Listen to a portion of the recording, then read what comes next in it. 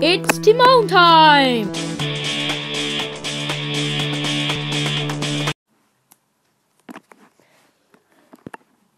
Hey, hey guys, today I'm gonna be doing a review. Well, not really a review, just a little quick tutorial on how to build an automatic sugarcane farm. As you can see in here, there's sugarcane in that chest, and I will be showing you how to make this. You can do whatever you want with around it, but it almost has to be just like this.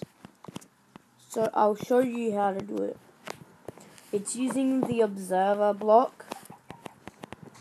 I'll explain to you what it does, so I'll show you. Damn it. Block that. No. No. Stop! There we go. Sorry for that creepy noise. So if I put a piston down here, and then I put any block here, it gra- it's an instant, like, as in, it's just an instant pulse of redstone. So like, it's just like bam, or just any block, see? Even if I put down a hopper, it will work. That's the main reason this whole thing works. So, first what you're going to want to do, oh I need all the materials. So, you don't need this, that's it. So I'll grab water. So, first what you do, oh I need redstone. I don't need the glass. Redstone, redstone. So I'm to light up the whole area right now. I'm to make a two wide one. So all you need to do is put water in these two spots. Then you need, like, as in, like, boom. Then crouch, boom, boom, boom. If you want the chest on this side, that's what you do. Then you put your chest there.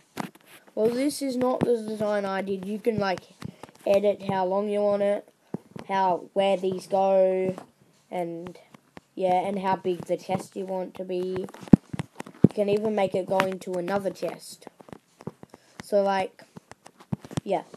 And then you can have sand if you want, but I'm not gonna do one for this one and yeah, so yeah, put those down.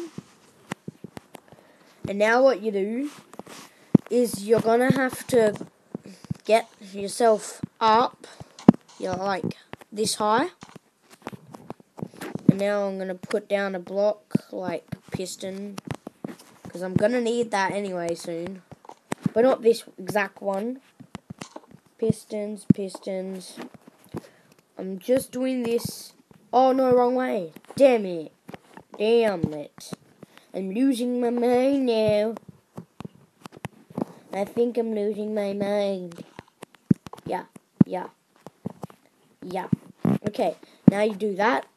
See, as you see the front part, that is the part you need to be facing the back. This is the good part. But you do need that.